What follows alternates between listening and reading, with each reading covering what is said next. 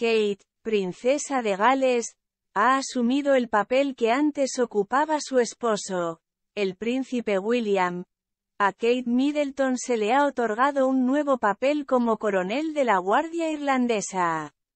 Llega tres meses después de que el rey Carlos III le otorgara el título de princesa de Gales. Desde entonces, la mujer de 40 años ha sido nombrada coronel honorario de la Guardia Irlandesa, un título que anteriormente se le otorgó a su esposo, el príncipe William, hace más de 10 años, según el Palacio de Buckingham. William. En medio del cambio, William ahora heredará el título de coronel de la Guardia Galesa de Charles, según el medio.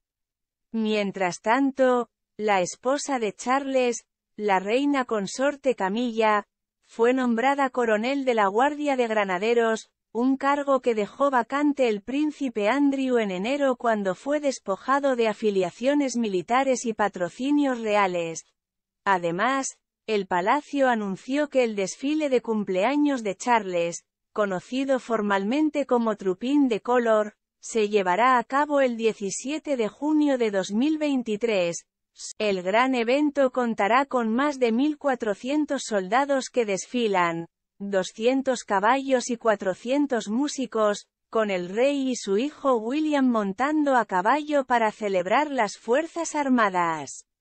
El próximo Trupín de Color, que tradicionalmente se lleva a cabo en un mes cálido, independientemente del cumpleaños real del monarca, será el primero de Carlos desde que sucedió al trono de su difunta madre, la reina Isabel II, quien falleció el 8 de septiembre a la edad de 96 años. Recientemente, la difunta reina fue honrada durante un servicio de villancicos celebrado